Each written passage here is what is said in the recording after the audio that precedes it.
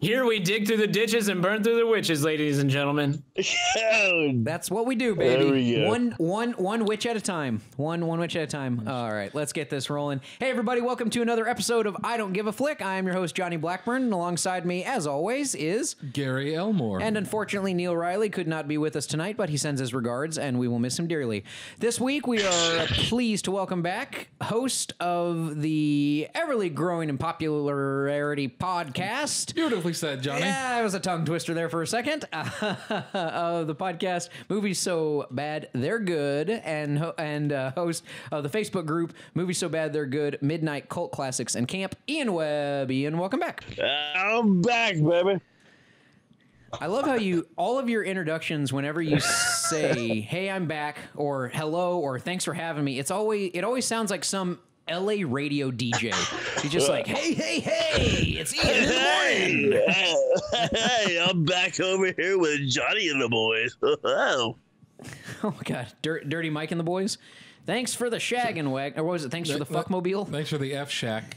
Love, Love Dirty, Mike, and the boys. Oh, I love the other guys. That's a great movie.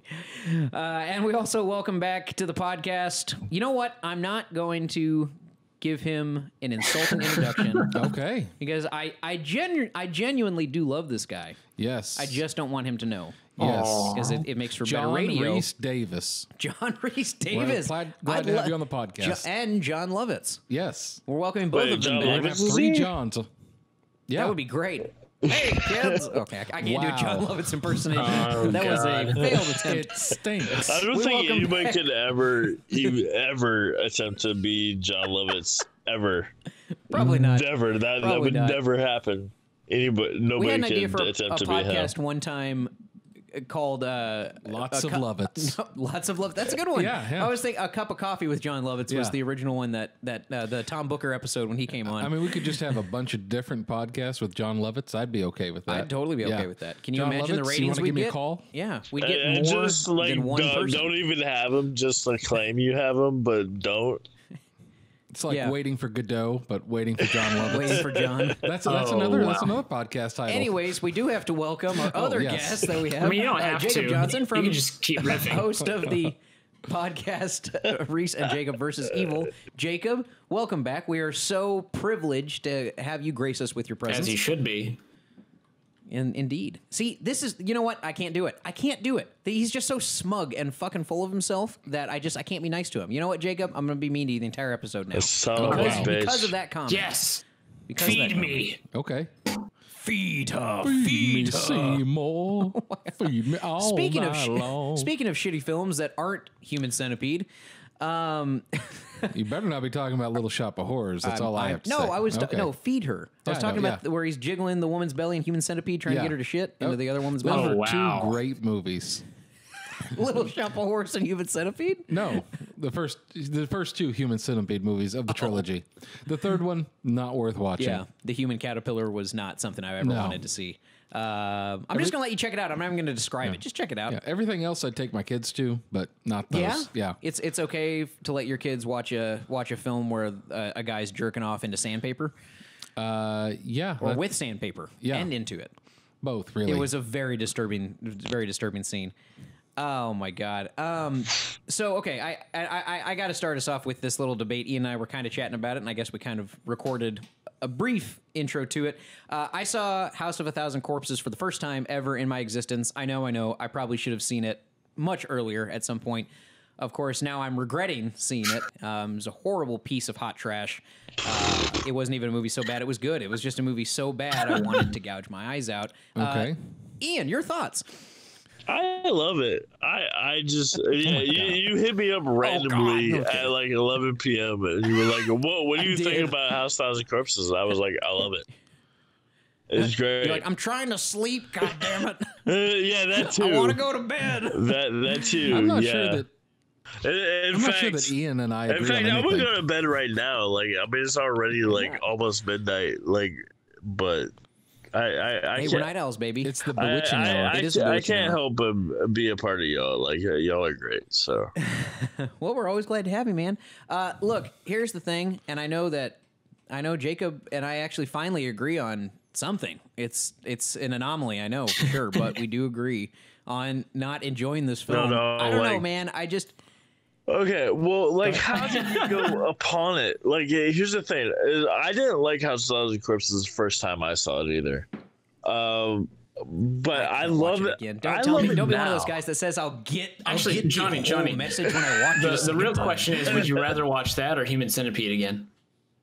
I, Human Centipede. dude, I will, I Easily. will watch Easily fucking House Centipede. of Thousand I, Corpses every I would probably day. watch House of a Thousand. that- What?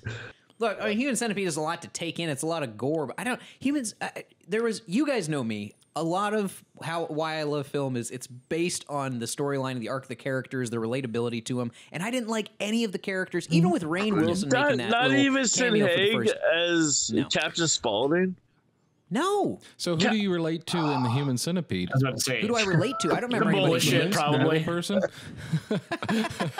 The guy at the end. The, I don't know. I, ass- you know, yeah, I guess the, The- guy the the shit middle, eater? taking everybody's shit. Yeah, the shit eater. The guy taking every uh, everybody's waste from every angle. But anyway, Um, I, I. I told I told Johnny the other day when he, he was messaging me as he was watching the movie and just hating it. I was like, look, Rob Zombie is like Quentin Tarantino, and the fact that he is Oh. mostly a fan of these types of movies of from the seventies. Tarantino Like does it well.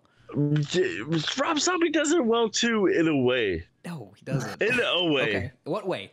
I'll, I'll spare. I'll spare. I'll spare all belief. I'm going to spare all belief that that, or excuse me, disbelief in what you're saying.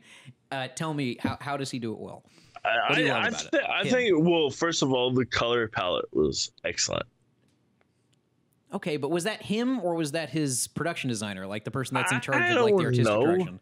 It's probably like a mixture of both. I mean, it's his direction, so you can't like like option. Yeah. Well, mean- see, like, a lot of that movie- thing, like Rob Zombie, like he is a fan of '70s horror movies, especially uh, the one that really comes to mind is Texas Chainsaw Massacre 2. Two, yeah.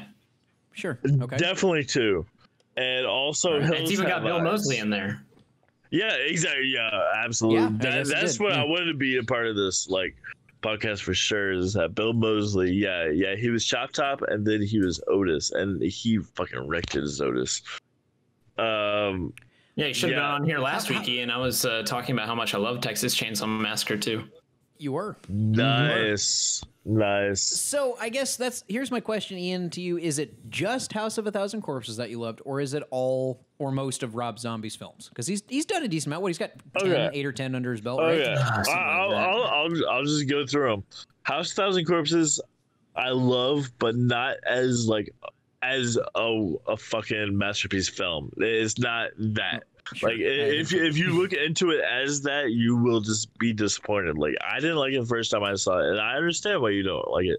It's pretty much it's a love letter to fucking horror movies of the seventies, mostly the seventies. No, it's a suicide note to the horror movies of the seventies. No, no, no. Like it, me in the it's, a, it's a it's a fucking um. You know, it, it it's a it's a like a prodigy thing. It's like it's he he really loved those movies, and that's what he was trying to do. He wasn't trying to be a great filmmaker. He was just trying to be like, hey, I love these movies. This is my tribute. That's what he did, and that's cool.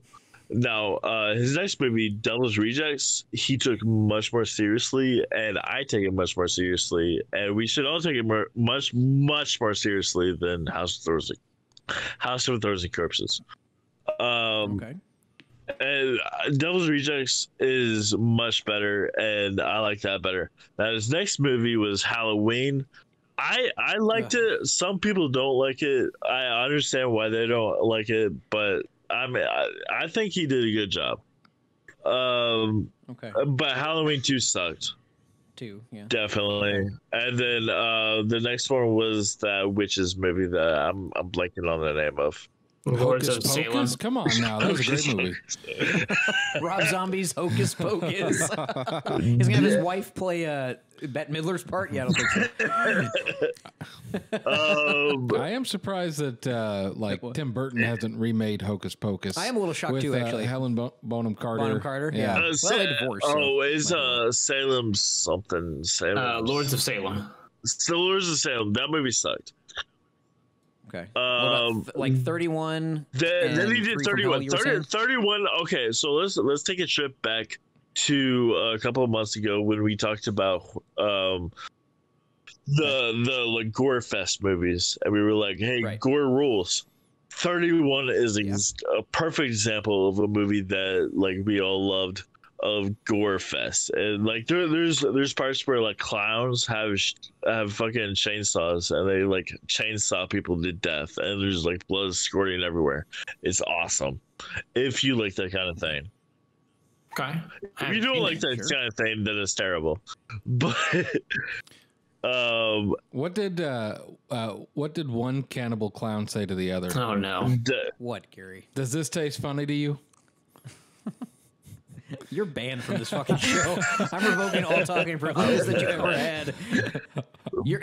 I'm gonna edit out your edit. Oh no! I guess when you Re-edit. re-edit this later, the director's cut. the director's cut without Gary. but um yeah anyway 30 31 is great as far as like gore fest goes which johnny you, you already said you liked so you have no um like you, I haven't seen you that can't, right, can't say can't- that can't it on it. sucks because you already said that you like that kind of thing so anyway True. and then there but was typically, a lot of a lot of the movies that follow that gore fest uh, formula that I do like, Oh, they dude, typically it's, still it's do so have some type of coherent it's so story. great in, in that in that fact. Uh, anything Okay, other than I've never seen it, so I can't. okay. I can't comment on it. Then it, it Okay. All right. then then he did I'll have to check that uh, three from hell, which was terrible because unfortunately the great Sid Haig he was dying, who he played Mm-hmm. uh, Captain Spaulding, who I fucking loved.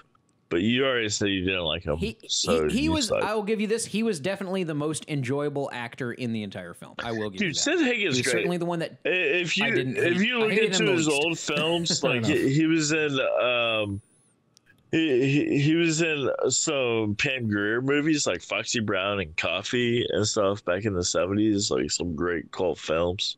He he was Yeah. great, and so he was dying, and so uh, unfortunately Rob Zombie had to change the script at the last minute, and it was just it was terrible. Like Three from Hell was just absolutely terrible. Okay. Okay.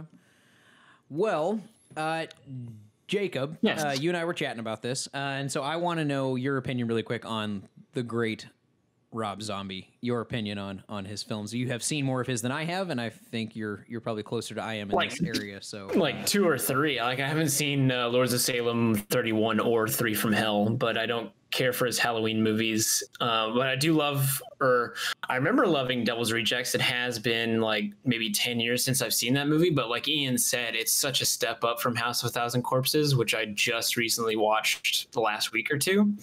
And just in style and direction as well. Like it actually has like a straightforward story compared to House of a Thousand Corpses, which is like jumping all over the place. Like, like I think the best part to me of House of a Thousand Corpses is when it, is when it does go full grindhouse at the end with like Doctor Satan, and you have like this entire like Nazi lab underneath the house, and it's like, oh man, this is like some like Wolfenstein, like '90s Sure. era id doom quake type of uh, aesthetics going. That stuff i really love but like a lot of the editing the action sequences were just awful. But me, you know it's kind honestly, of it's the I, point in a lot of ways like ian was saying. It's like he was he was doing it on purpose to be like as schlocky as it was sure. I will. I will say this. So I'll, I'll give Rob Zombie credit because he has a wide variety of stuff that he does. You know, whether people like it or not, like because he's like a s- he, he's a singer and songwriter, right? Oh, oh yeah, yeah, Yeah. Outside of like the, I thought you meant the type of movies he does. I was like, No, no, no, they're yeah. all like identical. yeah, but uh, but I mean, like you know, he you know tries to be a Renaissance man. You know, whether you like his work or not, you know, at least you know he's out Yeah. there. I can respect a guy that is multifaceted and has skills in different areas. I'm not I'm not saying that. I'm talking about just purely as a director and a filmmaker. Right, I, okay. I think the world would probably be just fine if he never made another film. But, just Johnny, ha- you know, Johnny, have you seen Devil's Rejects? I haven't. Well, then you don't know. I've seen his I've seen his I've seen his two Halloween remakes, which were I I hated them both, and then House of a Thousand Corpses, which was a cult classic, and so I just I was like, okay, I'll give this one a chance, maybe it'll be better. And then it was so bad it made my girlfriend nauseous, and she had to, she actually went had to go throw up. See, the sound well- it's I'm cool with heavy metal, man, but like the audio mixing was just it. There was too many screeches, and they just like they came in at random points when there wasn't even a horror moment, and the cuts were like between that old video footage and what was currently happening. It just didn't make any sense. It just I I couldn't follow it. It was just all over the place. Um, sorry, I interrupted you, but go ahead. I thought I did. Um, so I don't know. I, I agree to disagree on this one. Um, I, I I I will give Devil's Rejects a shot, but if if I don't like it, I'm never well, watching any of his other films. yeah, I, well, that's fine because there's not many other films to watch. And did you, uh, Okay. Johnny? Did you you watch the Grindhouse uh, double feature? Yeah, right? sure, And you know, yeah, he was a pro- wasn't he a producer on that or well, he did the Werewolf Women of the SS trailer in between them. You remember that Okay, one? see that was Yeah. cool, but they only gave him two minutes basically to do mm-hmm. that, It's- and that's probably and the that's- amount of time you he should have left also him. think did that's a a, Wyatt CSI Miami episode. He did a CSI Miami episode. Okay, Yeah. I've never watched. I watched the old CSI, the original, but I- I've never seen the Miami. I like series. NCIS better. You like Really? NCIS better? Yeah. I like I- Law and Order better, Gary. So take that, okay? Well- and NYPD Blue. So So, yeah, well, anyway, like I, I was saying, House Thousand Corpses, like he he was he was already a really famous. uh, You know, he had, he had two famous Musician bands. He had. White Zombie and he had Rob Right. Zombie. He was fine. He just did a movie just because. That was all Okay. it was. Just because it like he loved Texas Chainsaw Massacre. He loved Hills Have Eyes. He mixed them both together. Cool. both, both fantastic movies and and, and series, but Which just, is- you know, I mean, I love. Which is so strange to think about. Like, how come he did Halloween as a remake instead of Texas Chainsaw Massacre, or even try to do like his own Texas Chainsaw? Yeah. I I, I why don't not make a remake of yeah, yeah? Because he could have because that remake with Jessica Biel that came out in what 2006 or, or Three. Five, three, oh, was it three? Okay. But, So House of whoa. a Thousand Corpses was a few years before that, right? Or were they both around the same year? House of Thousand Corpses. It, it was a little bit later. Yeah, It was 03. Okay. but okay. So they, they could have Devil's made, they- though, like he he actually took that more seriously than he did House of Thousand Corpses. That's what I'm trying to say.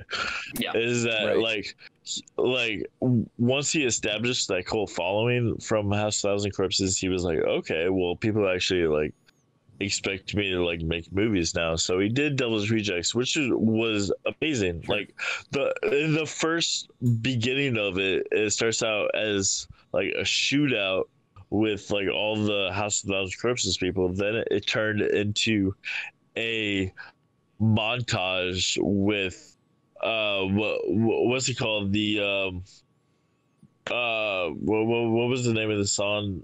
Uh damn it. Um, I'm I'm forgetting, but um, it, it was a really good montage at the beginning. Um, Okay. damn it, I'm forgetting. What Well, was, different. The I Allman think we Brothers. can agree to it was a it was a Yeah, the Allman montage with the Allman Brothers. Who else can do a montage with the Allman Brothers in the beginning of the movie? Probably lots of artists. Yeah, yeah, they're an excellent band. Also, like I- Devil's I made- Rejects kind of uh, does its own take on like uh, Bonnie and Clyde as well, because it's kind of like a road trip murder movie. Uh huh. That's it. That's see. That's interesting. Like that. That premise interests me. The premise of these people are these kids are traveling across country to write a, a novel about peculiar and absurd Spooky things. side trips people can make. Yeah, exactly. Hmm. And then they get, you know, trapped in the house by the crazy family or the crazy one crazy murder or whatever, and they experiment on them. It's been done so many times. I just, you know, yeah. Did, did you guys ever see that Geico commercial where it's like all the kids that are like running around the like the dark house and there's like the Leatherface like guy after them and the kids are like, "Where are we gonna go?" And they're Oh, like, "Oh, we should wall hide." chainsaws. Yeah, they're Yeah. like, we should should we hide in the cemetery? No, let's hide in the barn with all the chainsaws. You know what I just really take the loved? running car. You know what I I really mean, I- loved was the um the part in Detroit Rock City, the Kiss movie, where they see the Mm-hmm. hitchhiker and they're like, "We should pick up that hitchhiker."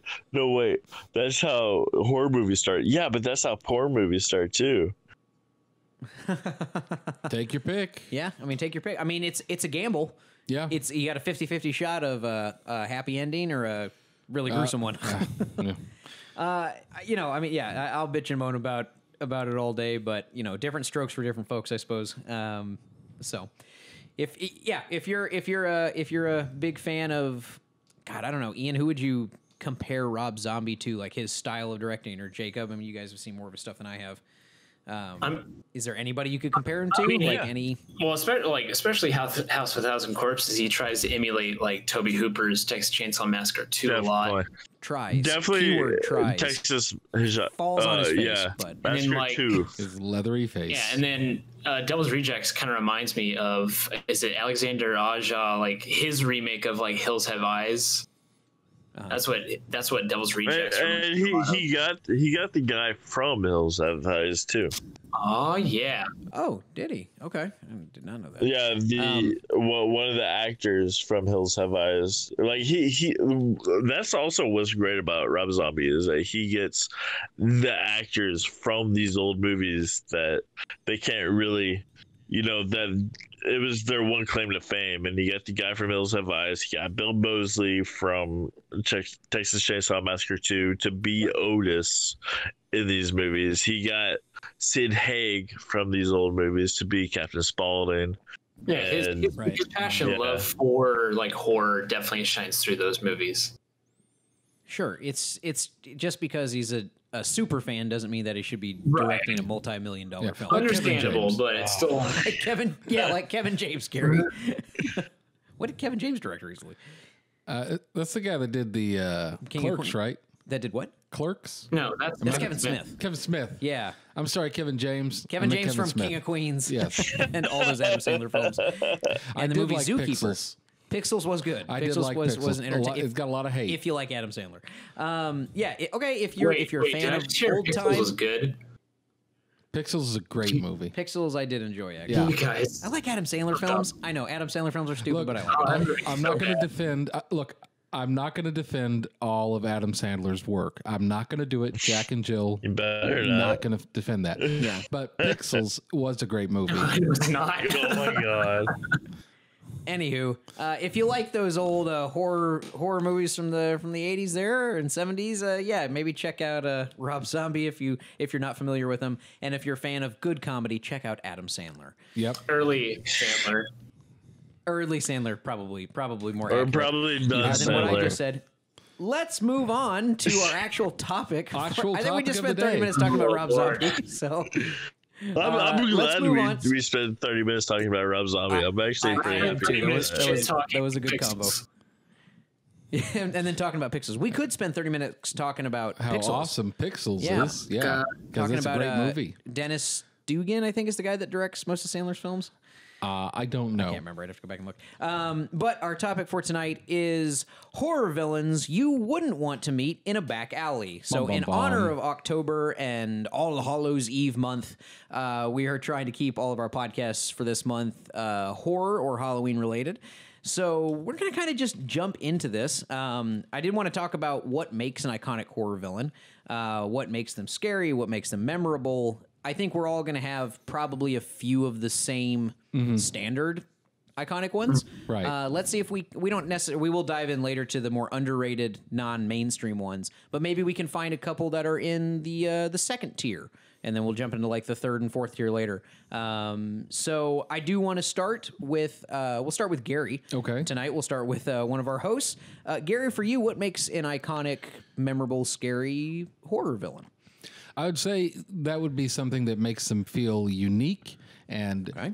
you know they it makes you terrified of what can happen around them and that it makes you jump like literally in, uh, you know out of your chair you know you lean forward you know it, it makes you have a hard time sleeping at night. It makes you Sure. be afraid to turn the lights off. And that could be somebody that it could be a villain that um, you see a lot or that you don't see a lot uh, and it allows your imagination to kind of carry that. Lots So, of I, I yeah. can't remember who said the exact quote, but th- there was there's always been one that's been going around stating the scariest monster in a horror film is your imagination. Right, And, absolutely. yeah. Your imagination gets you and So understands. you're saying so you're so fo- to follow up on what what you're saying, what makes a memorable one for you? Is it the way they for you personally? Is it the way they look? Is it the way they move? Or is it the way they sound?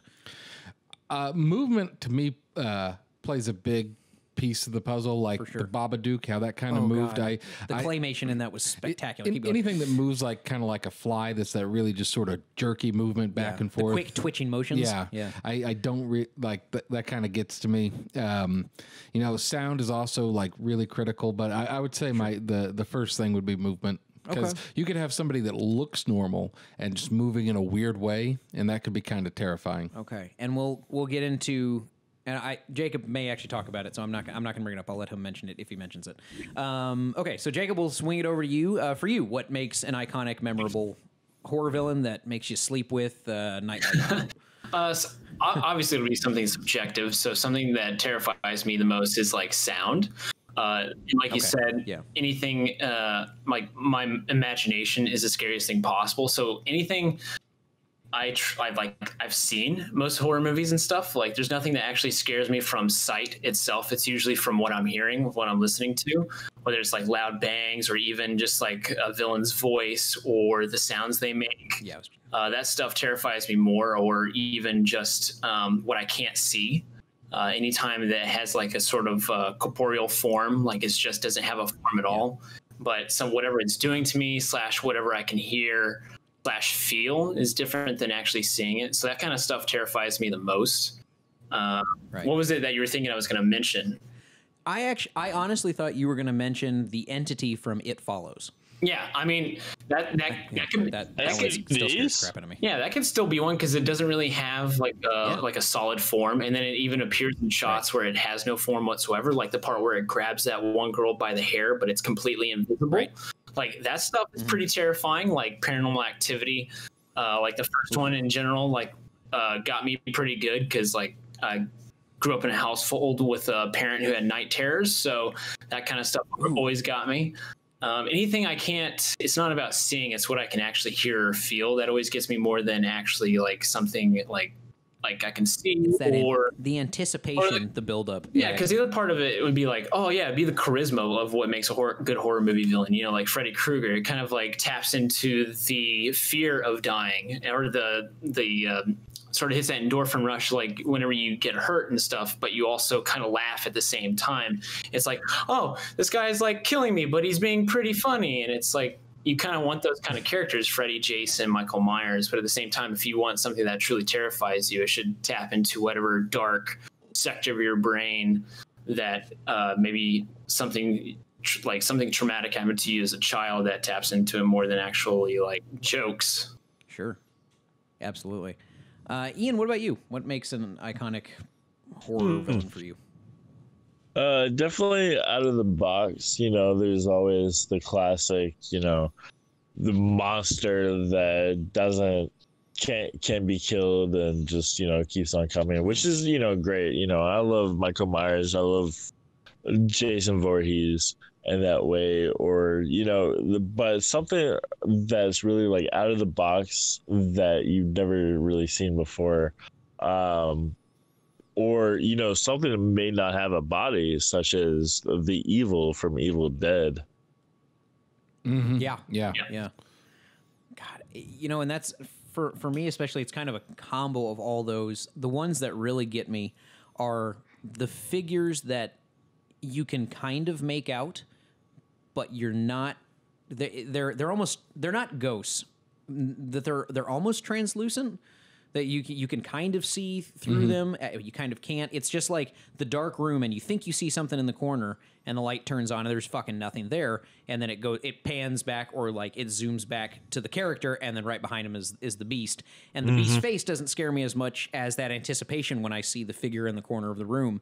And the one that really got me was Gary. You brought up. I was going to bring that up too. The Babadook. Um, Yeah. and I think at this point, that's probably grown from a tier four or three up to closer to a tier two or tier one as far as how many people know about it just because of its popularity over the last Right. five years. Yeah. Um, the the ba ba Duke Duke Duke, like that Okay, Oh, oh, that- we're not, oh, that's- we're not talking oh, about the oh, Conjuring. oh. No, good God, we're not talking about the Conjuring. So when we we saw we saw the Conjuring for the first time a, uh, a while back, and I made Gary watch it when I first uh, when I first when he and I were first living together um, a while back, and that when they play that hide and clap game. Every so the one scene is where the mom has her she's blindfolded and she's trying to search for the youngest daughter and she's like clap once and you hear the clap twice and then you see on the other side it's that perfect shot from James Wan. So I love this guy so much. It's that shot you see her in the hall, but directly into the girl's bedroom, you see the dresser doors open up and it goes clap three, and these old ugly witches' hands come out, and nothing but the hands come out from Mm-hmm. the clothes and they clap slowly. That, And that's a really good this jump day- scare.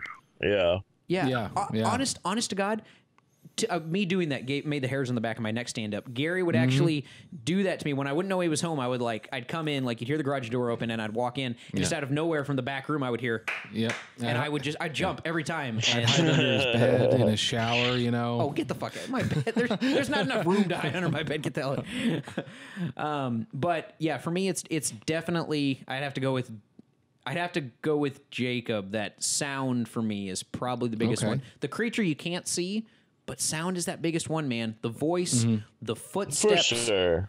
Yeah. It's just your imagination just getting away Yeah. with you. It just That's why, like, God, it just it like that's why that first paranormal activity works so well right like the performances are pretty whatever like obviously like, amateurish but like the parts where like doors slam in the middle of the night or you hear like the the the slow walk to running of the creature or the entity approaching them that stuff. Or or even like the very end when she's screaming Mike uh, or Micah at the very end because it's like oh you're listening you're basically hearing the person you love most literally calling out for your help and you feel almost completely powerless to actually reach out to them. And it's there's Yeah. yeah that stuff that stuff hits me more than anything that could be like uh, like demonic or like that's something that has like a terrifying form in itself it's the helpless. Yeah. I feel like the one the one that has always freaked me out the most since I was a child, and maybe it was maybe it was my devout Christian upbringing, you know, um, and the fact that I've not denounced it, but I've I've definitely renounced it. definitely yeah, um, I've definitely you know You pray to floated Satan away every from night. It's that. cool. You know. yeah, yeah. I, I I carved six six six on my left ass cheek. Um, no, it's maybe it's maybe it's the fact that I just grew up with that. That Mm-hmm. if you were if you sinned at all, if you broke any one of the Ten Commandments, or Mm-hmm. you know you had you had any one of the seven deadly sins tied to your soul that Satan would come from hell and drag you to the depths. Mm-hmm. And I was just always terrified. Ghosts and witches terrified me a bit, but demons in particular. And, and um, oh, I'm having a brain fart. Uh, possession, uh, excuse me, possession of your body. That that kind of stuff always got in my head the most. So for me, anytime I see a demonic possession film, Mm-hmm. those are the ones that really get me. Like. So you like Fallen, you must have really loved because it also had Denzel Washington in it. there you go. And John, John Goodman, the number one actor. honestly, ex- yeah, that's right. Wait, that's a throwback. Exorcism of Emily Rose was honestly, and I've seen it now, and I'm like, eh, it's not as scary. But when I was in high school, I actually woke up around 3 a.m. for about four weeks straight, or at 2:57 or 2:59, and I thought I was going to smell smoke, and I thought that. Satan was going to come to possess me, and it just freaked me the fuck out. The movie itself wasn't even that scary, like it, uh, you know, a little bit. And good, it's an alright film. Um, but it i don't know man. Just for me it's always been it's always been demonic films. Those have always been the type of creature that has freaked me out the most. Uh, what about you guys? I mean I, there's a lot of different ones. Um, uh, gary what about you? What you know is, is it the slashers? Is it the is it the witches? What is it? What what freaks you out the most? No, I mean, I think that uh, something like that you don't have any way to really defend against. So, like uh, the Evil Dead. Um, you know, that's just something. Again, that's sort of a possession kind of thing going on, and there's no way you can really uh, Hey, stop Ian. that. Ian, um, and uh, it, it that's really for me one of the things that kind of uh, you know freaks me out is just like not You're being able to have a you know a chance to to interact and like determine my fate. You know, sure yeah yeah ian what about you Huh? i heard your girlfriend talking in the background to you so i figured i'd put you on the spot Yeah. Uh, No, no, no. It's cool. No, we were we were just debating what type of horror villain is gets you the most. Is it is it is it the, de- the Yeah. demonic presence? Is it the witch? Is it the slasher? Uh, like what is it? What do you, well, like, like I said, I, I'm, I'm my favorite is probably the Evil Dead, in which is the is is the evil presence that does not have a form, but like say like in the Evil So- Dead that it takes over the forms of your friends that Right. uh, are now like pretty much trolling you in a way. That's a great point. Yeah. Yeah. Is so is it is it so have do you do you see this to be a common trend in demonic films that you watch like films with a demonic presence as the antagonist typically like those are the ones that freak Uh, you out not, the not necessarily. You know, I, I like I like a lot of them. Like you know, all, all the above. Really, like you know, I like the uh, Texas Chainsaw Massacre, where there's you know there, there's an actual person, uh, Leatherface in that example that.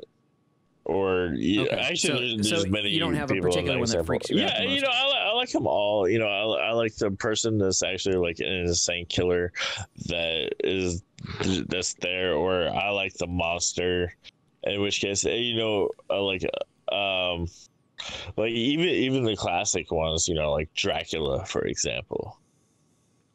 yeah Okay. Drac, Drac I guess yeah the old black and white Dracula Mm-hmm. ones did you guys ever see the old movie Count Alucard Did you ever heard of that one Actually, No. no. Okay, so Dracula spelled backwards to, for I mean obvious Duh. reason. So it was it was on. I used to watch when I was a kid. I would watch. You know, remember uh, Turner Classic Movies would have like their their 24 48 hours of nonstop horror movies. I guess now they're at a full month, but back in the 90s they were like Yeah. a couple days. And uh, you know that that was like Wolfman and that one were Yeah, two that always came on. Man, that kind of Yeah, thing. and it always, it always, yeah, that one always scared the crap out of me. Um, Jacob, what about you? Like type of type of monster that that still to this day freaks you out the most? That still maybe gives you nightmares? Who knows? Oh, it's it's more natural. So like Jaws, like Okay. Jaws still terrifies me. Like I still don't like going in the ocean. Um, and it's not because like I'm afraid of sharks. I think sharks are fascinating. I think they're like amazing. Like I was obsessed with sharks as a kid. Love giant squid, but it's more not the the actual fear of seeing them, but it's like the fear of not knowing what's underneath my feet whenever I go swimming because you've got like Right. miles of ocean underneath you and you don't know what's down there. So it's that fear of uh, the unknown, the fear of the others. So that kind of terrifies me the most. And then also the idea of this thing that isn't out to kill you personally, it just wants to use you uh, to feed or to you know like better itself it's not it's not killing you because like it hates you it kills you because it just you know just So like Alien or yeah something like, like, that. like The the- xenomorph? like, Yeah. see that's the thing the fate like the the xenomorph never scared me it was always the face hugger Yeah, the face hugger scared me the most because Mm-hmm, mm-hmm. imagining that thing Because it's small. yeah it it's tiny. It, it can come out from. You can't see it yeah, coming. it's, Yeah. it's literally raping you.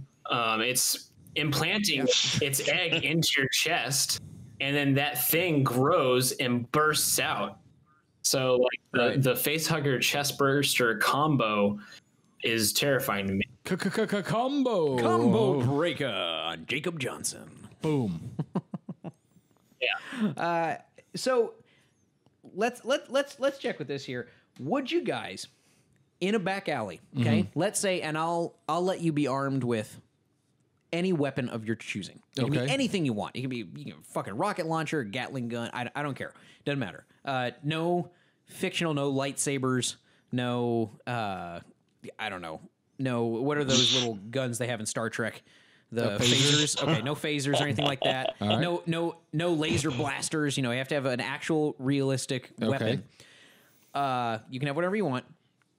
Which type of horror monster would you least prefer to fight? Which one would you? Which would the one you don't? The type that you don't want coming after you the most? Probably any kind that can't be killed, I would imagine. Well, And- okay, that's obvious, but let's get let's dig a little deeper than that. Right. I agree. I wouldn't want that either. That would suck.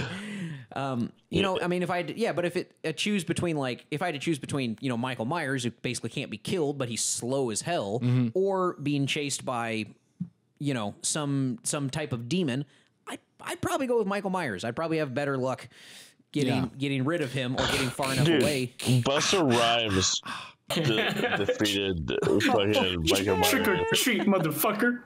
Trick or treat, motherfucker! Saw that, man. Um, uh, I'll I'll, I'll I'll start with that one. Um, the one that I would least prefer to fight. Oh God! See, I I say that I say a, a type of demon. I know I know I mentioned that a lot. Right. But see, then there's the thing like, does Freddy Krueger count as a demon technically? I think he's What just a guy that? that soul went to hell, right? Yeah, He's Right, going to but I hell, mean, and then he was uh, three demons basically made a deal with him. Right, right. And so it's it's like I would I don't the odds of beating something like that or beating Pinhead from Hellraiser. Hellraiser didn't really ever scare me much as as a kid, but facing something like that when you basically there's there's no way It's pretty to much get away from it. hell. It's going to find you. It's hell within the personality is Yeah. is I, Pinhead. I, I, I'd have to say that, yeah, f- facing some type of super, it doesn't even have to be supernatural. It'd have to be some type of demonic force like a Pinhead Mm-hmm. or Freddy Krueger would be my least favorite to fight. Okay. Absolutely. But, but if I had some type of high end, I don't know, high end, like old school monk or priest or something, and some like really old amulet that could protect me. If I had some type so of if you were Doctor Strange, yeah, basically. if I was Doctor, okay, if yeah. I had Doctor Strange with me, it'd be Yeah. great. Uh, if I had some advantage with a mystical relic or something like that, I I think that would make it a fair If you had a boomstick, a chainsaw, and the Necronomicon, That's true. and, and, and a lot of cocaine, and I could just stay awake Yeah. the entire time. Um, yeah, absolutely. I think that would make it a fair fight. Uh, that would that would probably be the weapon of my choice, and the ones that I would least like to fight, though. Um, so I don't know. I digress. Uh, Gary, what about you? Well, um, yeah, I think that the uh, sort of the intangible, um, unknowable monsters that you don't really, you can't really grapple with, like Mike Myers, you could punch him in the face. I don't really know how much damage it would do, though. Uh, yeah, but at least you could. Uh, like, I would feel like I'm be- doing something, even though Okay. I might get killed. True. but you know, something like, um, you know, just a shadow monster or something that Oh, I possesses didn't think about a shadow Yeah. monster. Fuck. Yeah, um, you know, th- th- th- something that you can't do anything to stop. You know, like Right. the Evil Dead. Um, uh, you know, uh, you know th- that again is I think the worst. And um, I suppose that you know, What would you it- use? you know, you, you, you- tenacity and willpower. I think really are the best things to to battle with them. Because if you look at like the Evil Dead, like Ash, um, he cuts off his hand in order to uh, free himself from it possessing him. Right. Uh, spoiler alert if you haven't seen that 40 year old movie. Um, and you know, it's just God, it is four it, years old. it- it is. It's nice to see like the the willpower and uh, the the drive to live is is something that can help propel you to to beat these terrible creatures of the Fae. You know that are just e- ephemeral and no mortal weapon could kill them. Okay, so you'd prefer to, okay, so instead of having a physical person or object with you, you just have strong moral fiber and resilience to Well, like no, I mean, like you, you, if you had like a Necronomicon or you know something like yeah, like a, I need an old priest and a young priest, you know, uh, kind of thing going on. That's that that that would be the best uh, combo to deal with the worst, in my opinion. Uh, the monster from monster, the yeah. Dead. Okay, or something like that. Gotcha. Yeah. All right, Jacob, what about you? oh, it would probably like is this is kind of a twofer. It's the Terminator slash the T one thousand Oh shit, that's a good one. I didn't even think about because basically, That would be horrifying. That'd be horrifying. I, that's an action movie, but I, I'll take I mean, that. That's, Terminator that's One is horrifying. You can't very much a horror The movie. first one's Yeah. definitely first one is definitely a sci-fi horror movie. Yeah. Yeah, yeah, and it definitely had and elements, even yeah. just elements of the T1000 in itself and T2 is very like scares the hell out of you as a kid because like literally there's nothing that could kill it like the old school like T800 if you can get a bomb of some sort you can kill him but even then like that's like Arnold's an indestructible unstoppable murder machine. yeah Just And like everything you Jason throw at him. Yeah, and like, uh, but the T one thousand will just keep coming. Like I'd have to go, like I have to fly to a volcano to, to find out a way to kill him, and I even then I wouldn't even know if I could kill the T one thousand because it just keeps like reconstructing itself. Yeah. Yeah. Well, you can melt it in uh, steel slag. Yeah, I gotta Yeah, go find you that could just throw it into a pit of lava. That's the thing, though. Is Yeah. like you wouldn't know to do that really, because That's true. because that Oh, was by although, like, chance it's- that they even found the steel slag. it, it was by accident. Yeah. But, that's but I mean, like, it, it's just computers. I mean, couldn't you just hit it with a powerful magnet? I mean, I mean, it's a possibility, but we don't know. didn't they do that in one of the spin-offs, like in Genesis or Salvation, one of the crappier Let's not ones? talk about those movies, please. I, I, I, don't, I don't know. Ian, what about you? Um, I mean, yeah, there, there's that. Um, so what exactly? What what's the what's the question exactly? So I was going to say, what what type of, and it can be a specific monster, but I was saying, what type of horror villain or horror monster entity would you least like to face in a back alley or have chasing you? The the one that would give you the most trouble or terrify you the most, and then what type of weapon Okay. or person or th- object would you bring with you to fight it? Well, yeah, like I definitely agree with the unstoppable murder machine, like Terminator, Jason Voorhees, Michael Myers, all those definitely. And, and but then again, you, you just like yeah, you just bring like more shotguns and more, more lawnmowers and whatnot. um, Just mow through them. Yeah, because the thing about but like Jason also- Voorhees and Michael Myers is like nobody ever thinks to just cut off their head. Like Tommy Jarvis did in like part four, but it's like it took you four parts to actually make that decision. Yeah, decision. it took you all these dead Uh, bodies and yeah, corpses to figure that out. And that didn't uh, even kill him. Yeah, but I um, I was just gonna have to keep on saying Evil Dead with the evil because the evil is not a form. The evil is like it, it, it's just a zoom up camera. Yeah. Yeah. really. Though it does fear it. the daylight. Yeah. Um. Yeah, that's true. But Just live in um, Alaska, yeah. and then you know. Oh, or right. or For or or For of actually, the speaking of Alaska, you just reminded me. Right, boom. Um, a, another um classic, The Thing. Oh yeah. Oh, Okay, yeah. The thing would be a difficult one to stop. Mhm. Yeah. Yeah. Just, Uh, but yeah, 'cause because you never know where it it, is. takes the shape of Or who it is. it friend. is. Yeah, Yeah, who it is, yeah, either exactly. the thing or the evil. or when Because it the is. evil oh, either can, uh, it's either the thing that takes the form of your friend and just like attacks you, or there's the evil that takes control of your friend, and then your friend is just trolling you like ha ha ha, you know, like Yeah. Let me maniacally laugh over here in a corner for no reason for 10 minutes. yeah, and it's like and, and so like yeah, in Evil Dead, there, there's just uh Ash. He's just chilling with a bunch of dead bodies, and they're just laughing at him, you know. And they're like, yeah. you, you're not gonna survive yeah and they're just like straight up trolling him and you know like if he if he even does survive which he does he at least goes crazy because it's just so Right. insane Exactly. so There in, is in a that great case it goes into like and uh you, you, you know it, it's it, it passes the the physical form it's now more a mental form it's like a psychological horror Yeah, because then you don't even know Yeah. if you're like if you're the thing at that point. Who knows how the thing actually Yeah. assimilates its hosts? it, it could have possessed you already. hmm yeah. You never know. Yeah. Time is on my side. yes, it is. boom, boom, boom. What music are you talking about, Gary? Oh, uh, yeah. They made an Evil Dead musical. I heard uh, about that. that, yeah. Is it on um, West End or on Broadway? Uh, I think it was. I think. Well, I don't know if it was on Broadway. It might have been off Broadway, but uh, I feel like because they've had like they've had Lord of the Rings the musical, Jerry Springer the Yeah. musical, a Spider-Man musical, Poseidon, like the music, the Poseidon Adventure, Poseidon the musical. Adventures yeah, the musical. Yeah. Yeah. I mean they've had a ton of shit. So I could I could see them having having There's an Evil Dead got to be a morning after. So moving on from that, uh, I, I do I do I do want to go ahead and uh, check to see. Let's get a little more specific down into the nitty gritty. I want to know who your top three.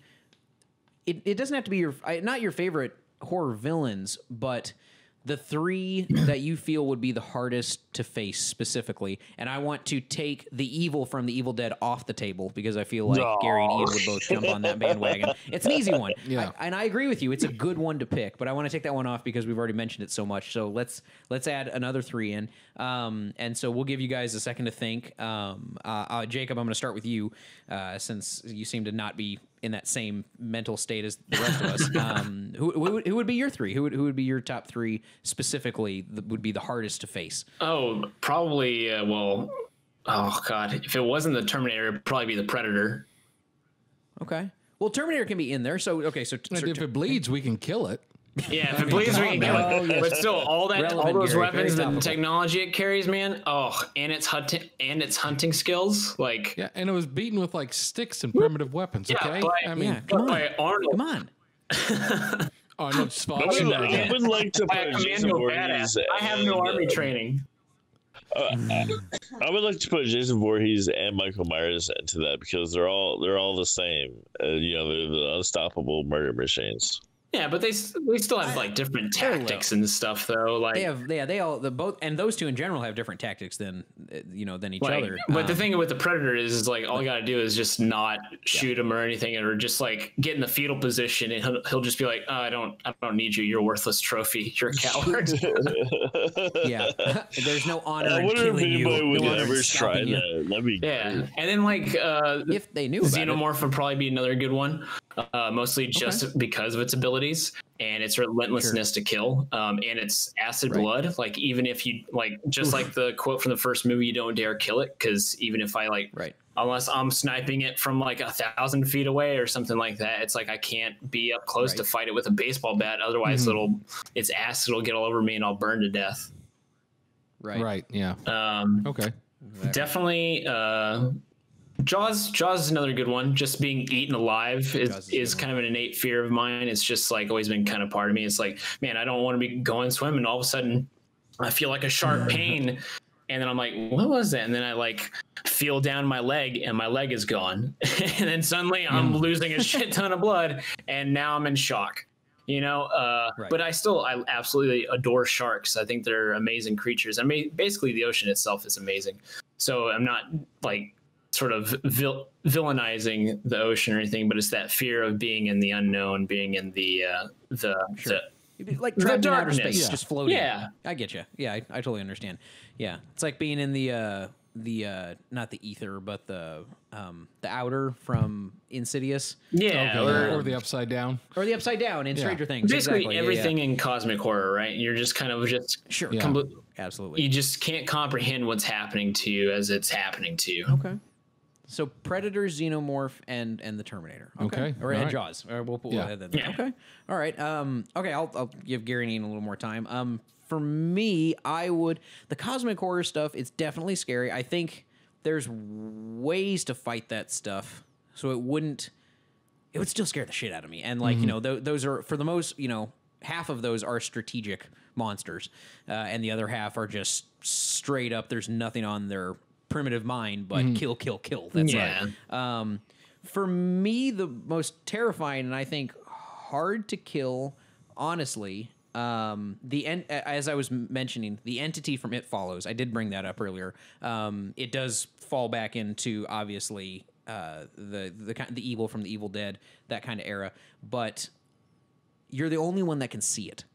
The fact that it's it's your brain against you, Yeah. but there's also a third player in the game as well. It's like three person chess almost, and it can come from anywhere. And it's just like the thing; it can be anything, um, just any type of monster that can morph itself into into something that doesn't signify hey this is a potential threat i better run Mm-hmm. if i don't know i don't i don't know when to be on alert so i'm just going to be on alert for the rest of my fucking life Yeah. and this thing it never stops coming and no pun intended um if you ever seen that movie the the the thing the the entity from it follows it follows you if you have sex with the person that it was initially following yeah it's a, it's a Oh, walking sti Oh. yeah and okay. so so let- oh, that makes that makes much more sense now. yeah, with the, the coming joke. Yeah. um, so that that would be that would be uh, probably my first one. I would have to say that the second one, just because I've seen a lot of the films directly, um, God, I, I- I don't want to go into the mainstream of. I already said Pinhead and Freddy Krueger, but uh, Annabelle from Okay. the Conjuring series. The little doll thing. Correct. Yeah. Okay. And so the doll is just the form that the demon takes, but the demon itself is supposed to be. I can't remember if it's it's like Balthazar or uh, Beelzebub, Iluz, Iluzu, Iluzu, or Iluzu- Z- Zaluzu. something like that. something, yeah. something like that. Um, and it's supposed to be one of Satan's most powerful demons, and it can it can. They give a lot. If you've watched any of James Wan's series around the Conjuring or Insidious, they talk about possession from uh, these spiritual forces and how long it takes them to possess you. But with this particular demon, it it it it happens almost instantaneously. It it takes a couple days maybe for it to just wear you down, be invited into your home, and then just take control of you.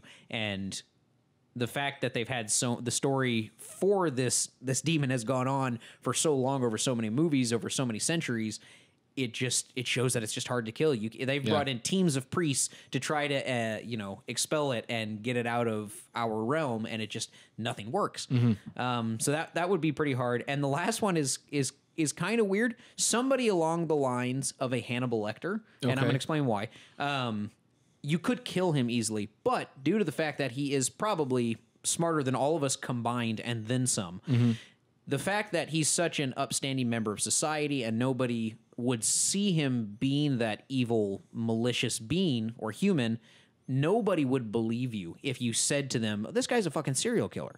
He's been killing people and eating their hearts and eating their livers and eating parts of their brain for years. And nobody knows about it and nobody would believe you. And so, once again, even though it's a physical human, it's still you against your mind. There's still it's still three person chess. There's still three people in the mix, and y- y- it would just go. I think you'd go crazy, and then you'd slip up, and he'd get you at some point. Okay. Um, and that went that that and that's also a realistic thing. That could potentially i mean you know fuck you look at people like uh you know like john wayne gacy. They're like oh he's a fantastic member of society. He's a philanthropist and whatever and he's done all these things to help you know successful business and a great father and whatever. And he ended up killing over 30 people. And you know you just nobody saw it until it was too late. Um, so that kind of shit that's realistic and that's kind of what gets him that gets in my head. Um, so uh, ian let's go to you. What do you got? Yo, um, damn, that's quite a thing to follow, right there. Um, shit. Um, I mean, you know, you know, there's okay. I, you know, you know what's scary is I, I'm. I'm gonna go with the old classic, the '70s. You know, the the, the classic sure uh the family you know the, there's the hitchhiker that Hey. brings you to the family i'm talking about hitch Right. uh texas hit um sorry texas yes talking about hills have Okay, eyes i'm talking right. about motherfucking uh, Hatfields and McCoys. the Montagues and the Capulets. Boom, make it happen. Yeah, I'm, I'm, I'm, I'm talking about yeah, you, you know, uh, motherfucking House of Thousand Corpses.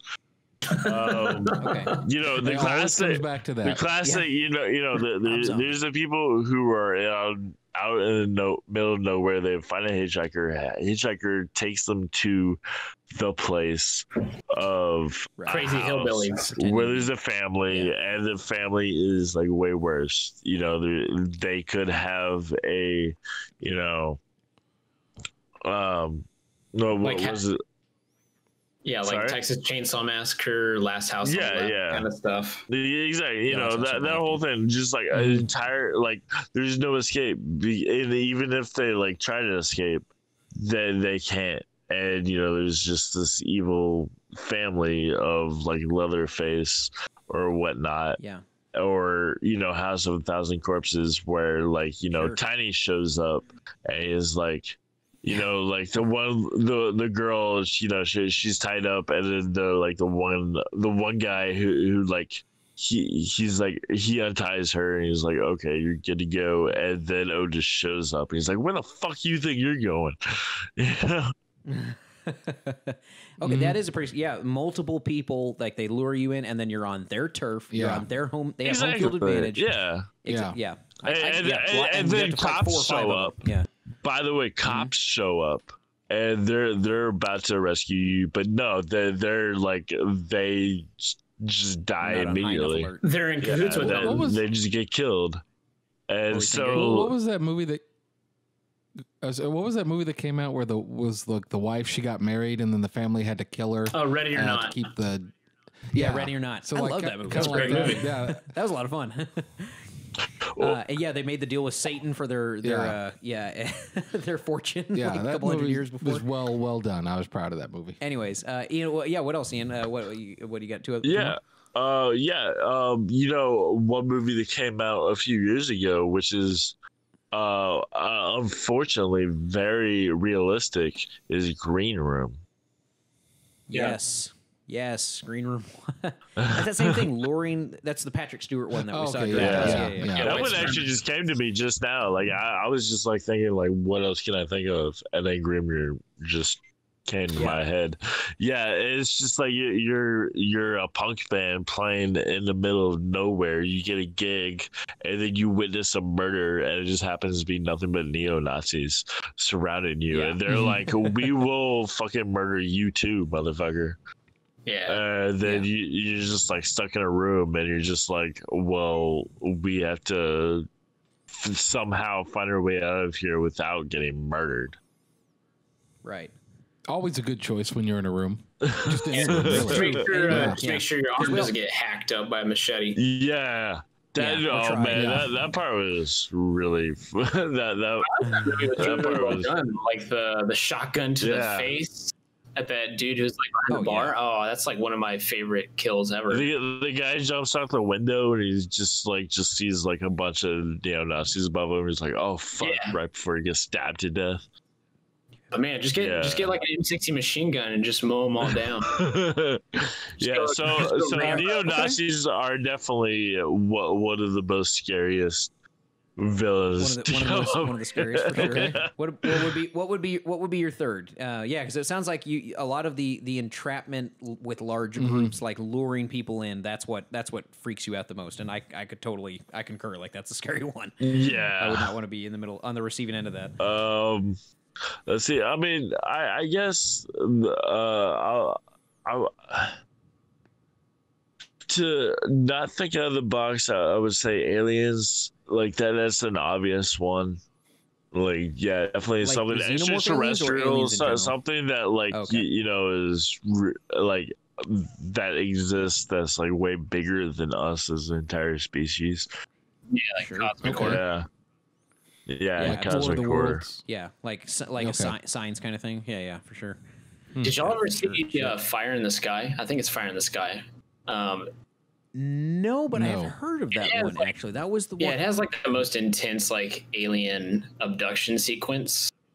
really? Yeah, it's Okay. like it's Is that the one with Christopher Walken? uh there is one with Christopher Walken. Maybe there's where he gets abducted? He doesn't get like raped by the aliens Yeah, or something. it's it's Remember really weird. Yeah. that. see that's the thing. I don't I think either it's the same movie, but it's not the Christopher Walken that happens to. It happens to somebody else. But it, yeah, but that's basically Hmm. what happens. Like they strip his clothes off and they're literally like sticking their fingers all in and out of his mouth and then, like, Communion. sticking tubes down yeah. his throat. It's like, man, it's Ooh, it's intense.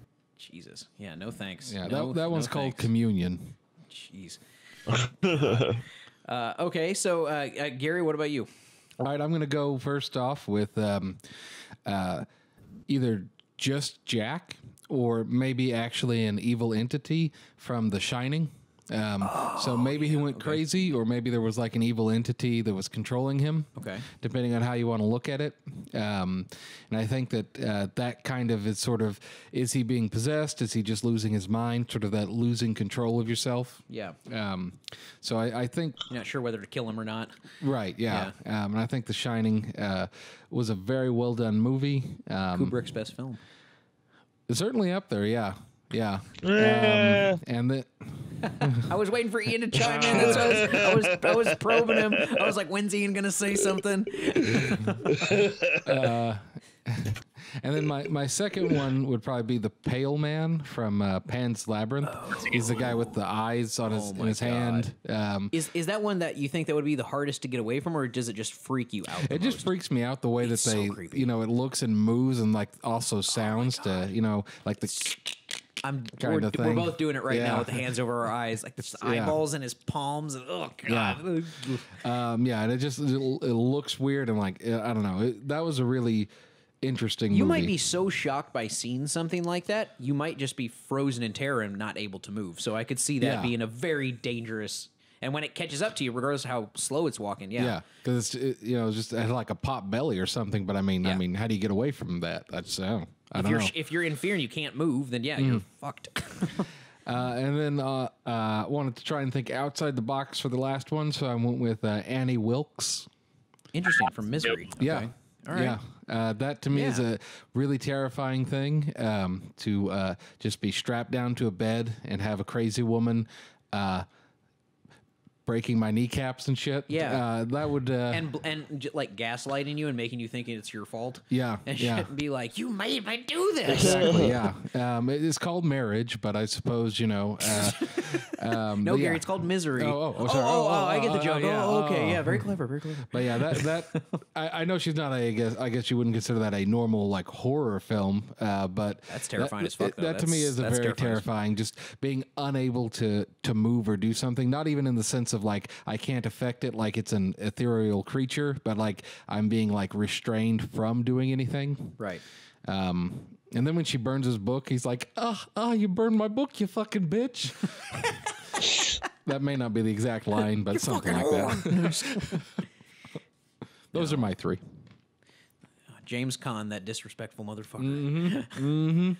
oh my god. Uh, okay, those those are those are definitely not the lists I anticipated hearing from everybody. But Okay. those were interesting though. I Yeah. I, I like that. I was I was thinking more we were gonna hear like more along the lines of the the Michael Myers and the Freddy Krueger's and all that. But I, I like We're that. out of the box people, man. We are out of you the box know? people. You never know what we're gonna. That's come why up you with. listen to I don't give a flick because you you know that we uh, we care about thinking outside of the box. We do. making you think outside of the box. Kind of, Exactly. kind of going You know, we back make to uh, Ian's with the mob, menta- mob mentalities. Like one that always got to me was like the Crucible, where you're just completely, where you're completely Yeah. innocent, The- but the the witch- society deems Yeah, you the witch guilty. callers. Oh, Mhm. no, thank you. Or the, or Or Matt Lord of the Mickelson Flies. one that came out not too long ago, where The which one? I didn't hear you say it again.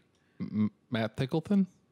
Uh, Mads Mikkelsen. He had there was a movie that came out a couple years back where um, this uh, he was like a teacher and this child accused him of being a pedophile, and so the entire town like hunted him down. But then, it, Oh, School of Rock. but yeah, but then it, No, Jerry, shut but it turns out, uh, yeah, and then like by the end of it, spoilers, like he's he's uh, deemed innocent, but now he has to live with an entire town that fears him, even though he did absolutely nothing wrong. That kind of stuff. Yeah, Mm-hmm. Scarlet Letter type, Yeah. type scenario. God, Jesus, man.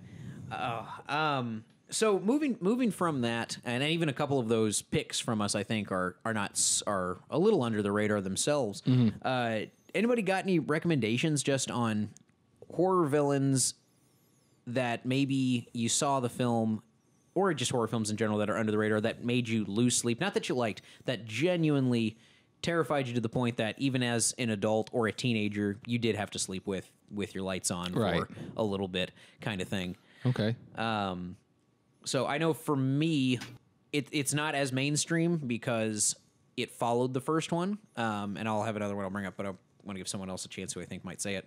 Um, Conjuring Two. Okay. For me, uh, it the story was definitely not as strong as the first one. Absolutely not. I mean, there's no arguing that. But the horror effects really just it got me in the second one. There is a that fucking the nun, which they made a full movie out of, which they shouldn't have. I mean, that was just a fucking train wreck. Um, it's like most of that universe. the, the demons, yeah, the demon's name is Valak, and there's just these multiple scenes, and it's once again, I know I I I I keep sucking the James Wan dick. I understand that, Yeah, you really do. but the guy is just so masterful at it. Um, he just does such a great job. I love his shots where it's you see the monster, you don't expect to see it. You see shadows of it. You see, and he does this with, and they do call it the lipstick demon uh, or lipstick man in Insidious. You don't see him up until you don't anticipate seeing him. You see a silhouette, which I told you scares me the most. Yeah. You see a shadow, Darth Maul demon. but out of n- and the Darth yeah the Darth Maul demon um and Dar- Dar- Darth Maul may have actually looked scarier but they they bring him in at these just jump cuts that just get you uh and with the the nun the Valak demon they have her appear you see the daughter walk out into the hallway and she looks down and you're only seeing you see Vera Farmiga who's one of the, who's um Mrs. Warren and Right. she's sitting in the chair and then you see the daughter walk into the hallway and like piss herself looking down the hallway and she goes mommy who's that that's the kind of shit Yeah. that scares me. And she walks out into the hallway and it's still a shot facing forward of the mom and the daughter. And then out of nowhere it's a cut and it's this long cut and you see the nun standing at the end of the hallway and she's not moving just staring blankly. And you can't see her face fully because it's a really long lens. Right. it's a really wide lens and it's a long shot. Um, and god just just that scene in particular the way that they they use shadow and oh god it's just it's so great. Masterful. Um, so for me i would have to say i'd have to say valak Okay. and conjuring 2 um, but gary how about you? Um, You know, I, I think a, a movie that uh, kept me up at night um, when I was a kid, uh, and I know, Johnny, you're probably not going to agree with this, but Event Horizon for me was a really scary movie uh, as a kid. And like, as I've gotten older, I don't movie. I don't find it quite as scary, but just as a kid, like, uh, yeah, yeah, you just get- Sam Neill, uh, who always does a great job of playing uh, people possessed by Oh, devils. Um, I love Sam Neill, but you know, just him just like Sucking tearing his Sam eyes out and just like, ah, that's that's such a great a great film. But um, uh, was it the movie It, the new one, where Mm-hmm. they had like it was like this flute player that was like all weirdly shaped and everything um, in the when they no No. that was what am I thinking of? uh, that was annabelle comes home was it? I think it was the latest installment. Uh, Okay. I think it was Annabelle. No, no, you're right. It was. It was. He. You're right. It, Okay. it was from the new city. I'm sorry. You're right. right. It was. It was the child. It was the painting that he was looking at, and Pennywise took the shape of it, and then it finally moved. Yeah, that was creepy. Yeah, that, that was a that was a creepy thing. I just thought about it. Yeah. But yeah, I wanted Oh, to. great! put Now that I'm going to be Yeah. up all night. Thanks Yeah, a lot, Gary. no problem. Event Horizon. That's right. Uh, Jacob, what about you? Uh, probably, uh, funny enough, it's one I actually went and re- uh, rewatched at Drafthouse earlier this year. Uh, The original Black Christmas from 1974. Oh, the villain Billy? I've not seen that one in a long time. It, uh, It's still easily one of the best horror movies ever made. Um, it's um, it's amazing how well made that movie is. But the uh, the fact is that you never see the killer, not once. Um, you most you see is his eye, maybe. But most of that movie, all you're hearing is his phone calls, and they're legitimately creepy. You're just hearing like random noises and sounds and the uh, the sound design of that film is fantastic because it's focusing in solely on the phone. So even when like the main characters, like all the women of the sorority house, are even gathered downstairs and kind of on speakerphone listening to these sounds, it's like in that moment, like most horror movies. You feel you feel secure when you're with a large group of people, but even with all these people around you, you still feel vulnerable. And I think that movie actually pulls that off really well because it's like, oh god, like this guy could be anywhere. And then the fact is that he's in the attic the entire time. Um, and he's just calling them. Uh, that that stuff is pretty good. And then just just what he says over the phone and his like little noises like my billy i'm gonna kill you. And then just like okay.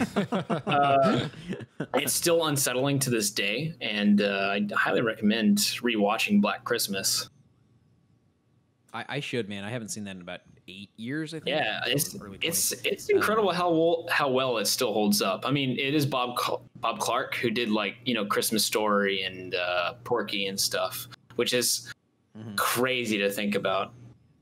Yeah, that's a wide variety. Yeah, Yeah. Uh, Ian, how about you? I'm actually gonna go back to what we mentioned earlier with Texas Chainsaw Massacre Two. Okay. Uh, that, like you know me, I, I love the cult classics, and th- this is a very culty one. Um, Mhm. and, you know, like the original one came out in the '70s, and it, it was fine. It was good. It, it, I mean, it, was it was it was definitely scary. It it, it actually, you know, it freaks some people out. Then 17 years later, uh, what's his name, Tobe Hooper or something, the Yeah, the director. director. Yeah, he decided to uh, I'm gonna make something quite different, but still kind of um de- definitely scary in in a way of I mean the you have the classic uh killer um what was his name? Leatherface but he also has a Yeah. brother um his name is Chop Top who is just this Vietnam vet who is just off of his out of his mind like Yeah. he like he uh he has a um a cohainer that he burns with a lighter and then pokes at uh a metal plate Oof. on it on his at, uh, on his head and he like eat, eats his own flesh and he's i don't know there's something really crazy about him and he he just freaks out everybody and he so pretty much he he's the just the psychopath that is unpredictable but is still very realistic. Like he could be any anybody. He he could you know you, you can beat him tomorrow and he can pretty much kill you at any moment Uh, you know he he's he's just that crazy so pretty much he's the the you, you know psychopath that you you know um, that's un- unpredictable that you can meet at any moment God. Okay. I yeah. That's shit, man. That's gonna, that I'll have to check out. Um, fuck. Okay. Well, I I think we've covered Yeah. literally, with the exception of maybe just like slasher serial killers and kind of witches. I guess we really covered pretty much every angle of a horror villain that you can think of. Yeah. In I this think, one? Yeah. A, a Yeah. good portion of them, at least. Yeah, a good a good portion of them. Um, but unfortunately, that is all the time we have for tonight. Um, so I wish. I mean, this this is uh one of the topics that we have that I could probably talk about for another couple hours. Oh, yeah. But, um, thank you guys so much for joining us. Um, before we go, we once again we want to give our movie recommendations, especially for this month. Um, we are actually going to jump. We're a, we're about. I think we're two weeks ahead of schedule, so we'll probably bump this one up uh, a week just so we can get it in during October. So we do want to give some people some recommendations for this wonderful uh, All Hallows Eve month. Uh, so Jacob, let's start with you. Uh, what would a recommendation or two of uh, some movies you recommend to folks uh, to check out this month? Yeah, uh, I actually went and saw uh, Possessor from uh, director David Cro- or not David Cronenberg, but his son Brandon Cronenberg. Um, and it's a really cool twist on the uh, spy thriller genre. So instead of uh, you know just typical like Mission Impossible type uh, spy film, it's actually what if somebody was to take over an entire person's body and insert their mind into their body. And so, but the film also focuses on the emotional toll and sort of body horror that can actually like uh, bring. Because once you insert yourself into another person's body, who knows what kind of ramifications that might have on your mind. So, uh, Right. like father, like son, it focuses a lot on that, and then you get a lot of like quick cuts to like like really disturbing imagery of body horror um, and I think it's a fantastic movie, and uh, Brandon Cronenberg is easily getting up there as a fantastic director, and it's got just like just like his father, it's full of socio-political uh, uh, imagery and ideologies in there. There's like police brutality. There's uh, social media trying to take control of your life. Um, uh, social media spying. so it's it's an extended version of an episode of Black Mirror, basically. Yeah, it very much so is. Um, and it's very violent. It's probably one of the most violent films I think I've seen recently. And the but the gore is very realistic in that in that sense. Um, but it's it's it's a fantastic movie to check out, and it's uh, it's one I, I would love to talk to people about um, if they've seen it. Absolutely. Well, uh, you just comment there below if uh, you want Jacob's phone number, and he'll be more than happy to give it to you. Yep. Or let me know, and I'll give it to you, and his his fax line as well. For some Four, reason. five, nine, fax twenty-two, line. twenty-two. Two twenty two. Get a Mr. Jacob Johnson delivered. There you go. Maybe maybe a Getty's Um, Pizza. And then another one I watched last night. Uh, it was it's a little bit more on the uh, dark comedy, dark horror comedy spectrum. Uh, is on Shudder. It's called The Cleansing Hour, and it's kind of a neat twist on the exorcism genre. So basically, like um, this priest had, or this guy who claims to be a priest, um, has his own sort of Criss Angel mind freak channel where he, like, you know, performs exorcisms each week, but they're all fake, of course. But of course, like, Yeah. but he tries to portray them as that they're being real, and so people buy into it, and they're like buying his merch and stuff. But then one night, one of them happens to be a real demon inside of the body, and crazy antics ensue. And it's honestly like really well done. I didn't expect a lot of the performances to prevail like I thought they would. Like there's actual emotion and attachment to characters I didn't expect. Um, and then the ending is just bonkers, crazy. Like uh, like I can't believe they actually went for it.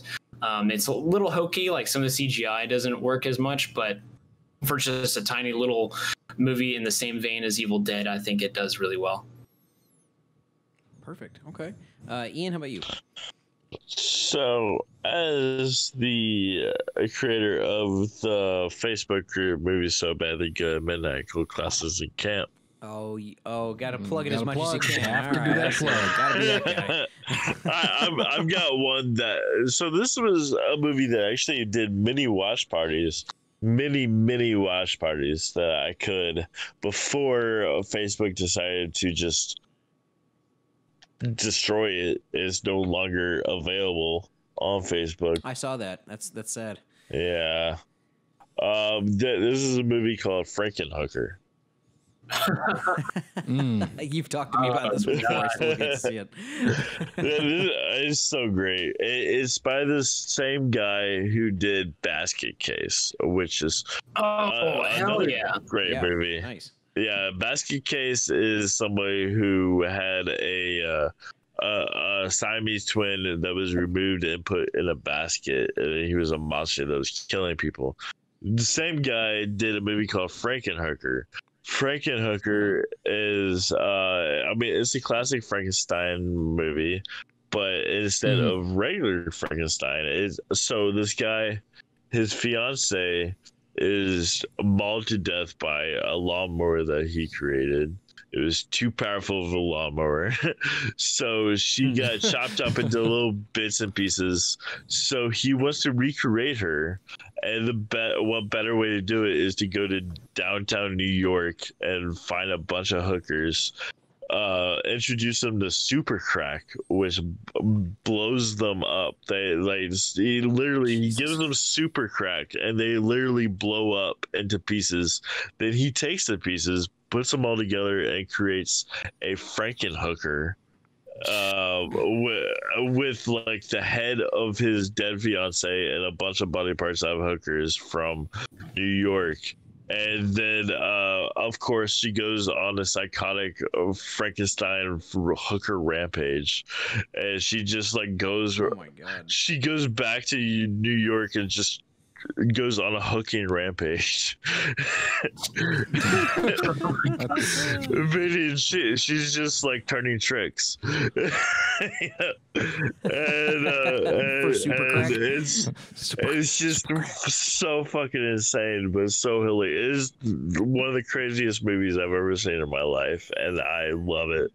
It is so hilarious, and it just like the more the more you watch it, the crazier it gets. Like, like up until the last minute. I'm I'm not even kidding. The last minute, it just it gets so insane, and I definitely recommend that one, Frankenhooker. Check it out. Okay. All right. Uh, Gary, how about you? All right, I have a recommendation that I think I'm hoping that no, nobody's seen. It's called "In the Mouth of Madness." Yes. Great one. Oh, Yeah, I've seen that. even. Also, Samuel. Okay, well, I've never even heard yeah, of it. uh, yeah. Sam Neill made me think of it. Um, I think it, it's it's a John Car- Carpenter movie. Oh, um, nice, Mid okay. mid nineties. Uh, So basically, after his heyday, gotcha. well, you know, uh, so Sam Neill basically is a. Uh, I don't even know what he is. He's like an insurance investigator or something, and he. No, he's a he's a Um, writer. He's a he's an author. Like No, no, no. He he's an insurance investigator that's looking for a writer. Remember? Because Oh, like right. the guy that wrote the book. yeah, yeah. uh, basically, there's this author that's gone missing. And so uh, Sam Neill, um, who's like, I, I think he's an insurance writer for a novel or whatever that is, and this girl, I can't remember who the girl is, uh, go to look for this guy. The, he, he's kind of like a very um, Stephen King kind of guy, just living in like a small uh, New England town or something. Yeah, it's, it's a it's a Lovecraft book too, or it's a short story. Yeah, Yeah. definitely Oh, Lovecraft. and like basically as as he starts to investigate the town weird things start happening and he finds out that um i really don't want to spoil it because i don't think a lot of people have seen it and it's a really weird interesting movie Okay. um but things just go really crazy like it uh, you know as you guys said it's lovecraftian so like it's it goes strange goes straight left but Yeah. uh, that I think is a great movie to watch around, uh, you know, the Halloween time. Absolutely. In Yeah, the I love of the- madness. In the mouth. It's a of great Madness. movie. Okay. It- it's definitely the only one that one, hasn't one seen of it, so I have to those see it. like character just like goes insane. Like, like at first he, he thinks he's battling uh, a person, then it turns out he's battling like a force of evil. Then it turns out he's battling himself, like his own Yeah. sanity. right. And also, it's mm-hmm. got that John Carpenter doing Metallica soundtrack. Mm-hmm. Mm-hmm. Every great movie does. Yeah. You know it's it's funny when I was when I was checking out a couple different films or racking my brain for movies that I'd seen in the past and loved, I was like, oh man, there are two in particular that I really liked, and then I was going up to research them a little bit more, and like the reviews on them, I mean the critics just panned both of them. I mean they just they just ripped them apart, you know. And I remember just in high school I was like, God, I just I love these so much. Maybe I need to go back and watch them. Um, the two that I was going to mention, one was The Exorcism of Emily Rose that I had already mentioned, Right. um, and then uh, and that God, that was a solid cast. It was Jessica Carpenter who was in Dexter and Quarantine, um, and then uh, Tom Wilkinson, and uh, the other one was The Strangers, the one with uh, Liv Tyler and Scott Speedman. Is that where their neighbors are like knocking on their door? Well, it's actually not neighbors. They're actually secluded, and what they they were secluded in a cabin in the middle of the woods, and they're a couple. And Scott Speedman proposes to Liv Tyler. She says, "No, I'm not ready." And they have this woman come to the door, and like the light has gone out, so she talks to them for like three minutes. It's actually a full conversation she has, and she's like, "Hey, is Tamara home?" And the or Tara or whatever, and the Scott Speedman's like, no, what the hell are you talking about? Get out of here. And every time they look out the window, they see like a new person in a different spot in the lawn. And it was the first time I talked about that cinematography I saw being used where they have the main person in focus, but in the background there's someone standing behind him and it's the silhouette, but it's out of focus. Right. And it's way it's you know, it's twenty feet behind him. Okay. Um and you know how much I love good cinematography in a horror movie because that, that's just it just scares the crap out of me. Um, so I'm still gonna do it. I don't give a shit. Um, I if- thought you didn't give a flick. I don't give a flick. I Oh, don't, okay. Gary. Oh, okay. You know what? But apparently, uh, you know, Ian and Ian and, and Ryan over there, they do give a flick. Apparently, Yeah. so uh, we'll let them we'll let them have their flick. Um, but yeah, I, I'm gonna I'm gonna recommend it. Uh, Exorcism of Emily Rose. Um, All right. and uh, it's it's a it's a solid movie about the combo. But Excuse me, the integration between. Uh, it's an exorcism film, but it also mixes in science and it also mixes in uh, legal courtroom drama uh, scenes, basically. Um, so it, it mixes a lot of my favorite types of films together. I love it when they they take mythical elements and then they try to put a scientific realism into it. They try to put that type of spin onto it. okay. and they try to like midichlorians. like midichlorians. Okay, yes, Gary, yeah, like, perfect. Yeah, yeah, yeah. It's fictional enough to where it's not not realistic, but at the same time, you're like, well, they're using fancy scientific words I don't know enough about, so I'll give them the benefit of the doubt. um, and then uh, the Strangers was I thought had done the best job since post 2000 with a film with a family being stranded in a remote location and being terrorized by um by being terrorized by real people. I know it's been done a million times. I just thought the the way they had done it was masterful. So Okay. that's, that's my opinion. Strangers and Exorcism of Emily Rose. Um, anyways, we once again we want to thank uh, Ian Webb, host of the podcast Movies So Bad They're Good, and the Facebook group Movies So Bad They're Good, Midnight Cult Classics and Camp uh, for being with us, and Jacob Johnson, host of "Recent Jacob versus Evil. Guys, always a pleasure to have you on, and uh, hope you can come back next week because we uh, had such a good time here. Uh, we get Neil back, and we can kind of have a blowout for uh, the end of Halloween with uh, with another uh, horror episode. I think that'd be a lot of fun. Yeah. Oh yeah. So So, uh, f- so for uh, for uh, all of us here at I Don't Give a Flick, I'm Johnny, And I'm Gary. and Neil is around with us in And Neil spirit. is here in spirit. And Neil's here in spirit. you guys stay classy. We'll see you next week. Thank you for tuning in to Leadfeather Productions podcast of I Don't Give a Flick. Make sure to subscribe to our podcast so that you never miss an episode. Podcasts are available on Apple, Spotify, Google Podcasts, YouTube, and everywhere podcasts are hosted. I Don't Give a Flick is hosted and produced by Johnny Blackburn, Gary Elmore, and Neil Riley. Executive producer Johnny Blackburn, technical director, editor, and audio mixer Gary Elmore. I Don't Give a Flick is a Leadfeather production, copyright Leadfeather Productions 2020.